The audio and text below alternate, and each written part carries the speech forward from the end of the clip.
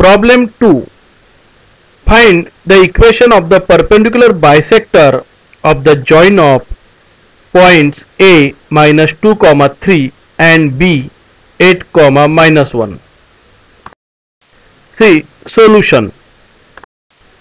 A minus 2 comma 3 and B 8 comma minus 1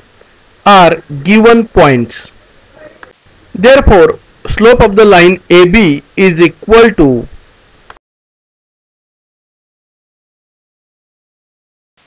y2 minus y1 upon x2 minus x1 which is equal to minus 1 minus 3 upon 8 minus of minus 2 which is equal to minus 4 upon 10 dividing by common factor 2 is equal to minus 2 upon 5 therefore slope of the line which is perpendicular bisector of AB is equal to 5 upon 2 because if the lines are perpendicular then product of their slopes that is m1 into m2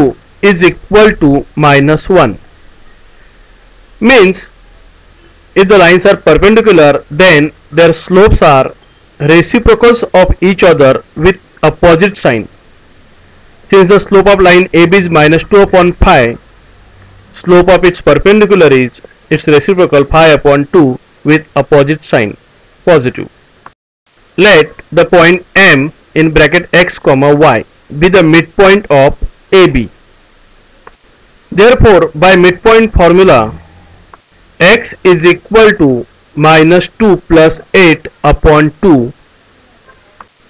and y is equal to 3 plus minus 1 upon 2 which implies